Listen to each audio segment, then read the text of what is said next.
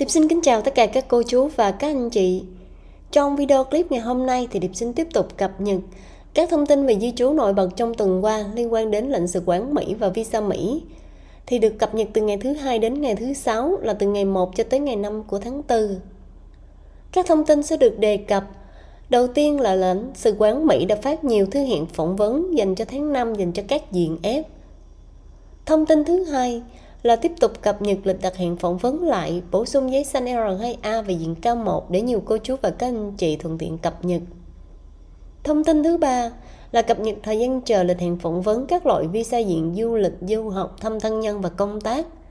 Chi tiết xin mời cô chú và các anh chị chúng ta cùng xem.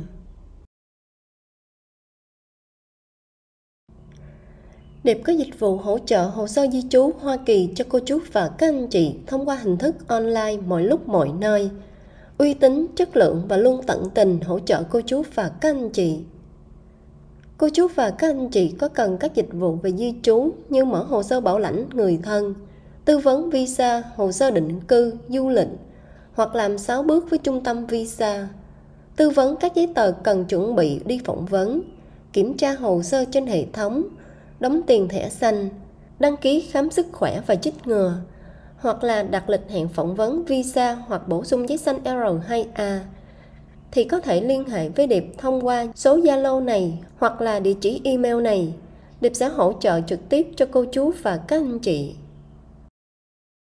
Cô chú và các anh chị xem video clip nhớ bấm nút like, thích, subscribe, đăng ký để ủng hộ kênh của Điệp nha. Và cũng như là bấm nút share để nhiều người biết thêm về thông tin này.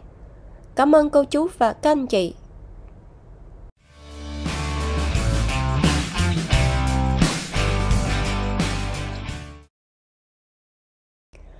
Thông tin đầu tiên là lãnh sự quán Mỹ trong tuần này đã phát ra rất nhiều thư hiện phỏng vấn dành cho diện F.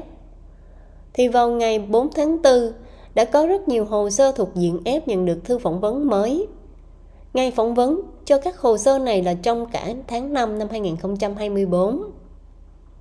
Và trong đợt gần đây thì chúng ta có thể để ý thấy là lãnh sự quán Mỹ họ đã bàn giao lại phần phát thư hiện phỏng vấn dành cho trung tâm Visa NVC phụ trách như hai năm trước đây.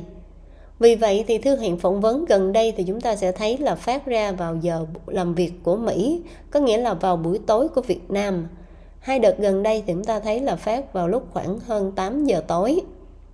Còn các đợt trước đây thì chúng ta sẽ thấy là lãnh sự quán họ làm việc tại Việt Nam cho nên là họ làm theo giờ hành chính của Việt Nam, phát vào khoảng buổi chiều của Việt Nam trong giờ hành chính.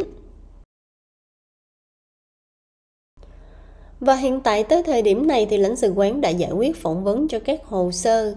Đối với diện CR, IR thì có ngày hoàn thành 6 bước là trong tháng 1 và tháng 2 năm 2024. Còn đối với diện F là F1, F2A, F2B, F3 và F4 thì có ngày hoàn thành 6 bước là trong năm 2021 và 2022 với điều kiện là các hồ sơ này có ngày ưu tiên đã đáo hạn với lịch visa. Thông tin về di trú thứ hai là cập nhật lịch đặt hẹn phỏng vấn lại bổ sung giấy xanh R2A và diện cao 1 hôn phu hôn thê. Hiện nay trên hệ thống thì lãnh sự quán đã mở chỗ hẹn phỏng vấn lại dành cho tháng 4 và tháng 5 năm 2024. Hiện nay trên hệ thống còn rất nhiều chỗ lịch hẹn.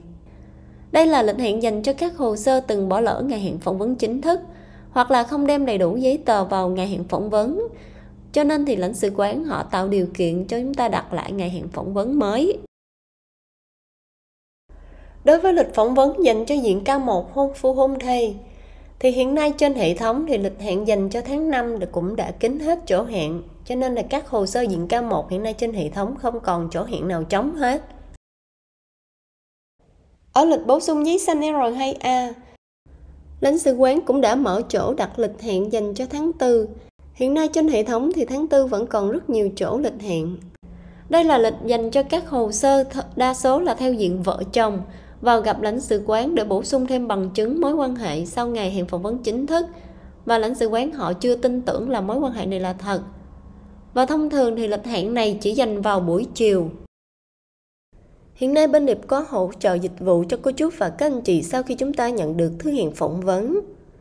là tư vấn các giấy tờ cần đem theo khi đi phỏng vấn và cách sắp xếp hồ sơ giấy tờ theo đúng quy định của lãnh sự quán và kiểm tra lại các hồ sơ giấy tờ mà chúng ta cần phải nộp lên hệ thống CAAC với trung tâm visa đã đầy đủ hay chưa, theo đúng như yêu cầu của lãnh sự quán.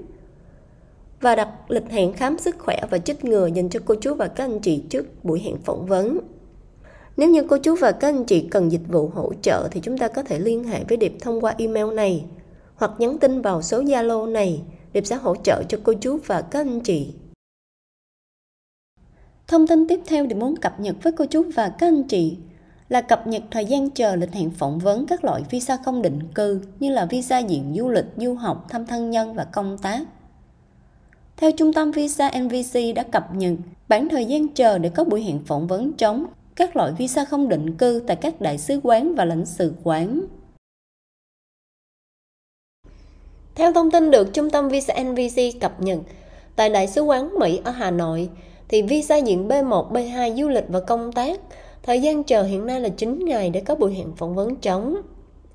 Visa diện du học hoặc là trao đổi sinh viên, thời gian chờ hiện nay là 2 ngày. Còn các loại visa không định cư khác thì thời gian chờ hiện nay chỉ có 6 ngày. Còn theo cập nhật tại lãnh sự quán Mỹ ở thành phố Hồ Chí Minh, thì visa diện B1, B2 du lịch và công tác, thời gian chờ hiện nay là 12 ngày để có buổi hẹn phỏng vấn trống. Visa diện du học hoặc là trao đổi sinh viên thì thời gian chờ hiện nay là 5 ngày. Còn các loại visa không định cư khác thì thời gian chờ hiện nay chỉ có một ngày là có buổi hẹn phỏng vấn trống. Điệp cảm ơn cô chú và các anh chị đã xem qua video clip này. Cô chú và các anh chị xem video clip nhớ bấm nút like, thích subscribe đăng ký để ủng hộ kênh của Điệp nha. Và cũng như là bấm nút share để nhiều người biết thêm về thông tin này. Cảm ơn cô chú và các anh chị.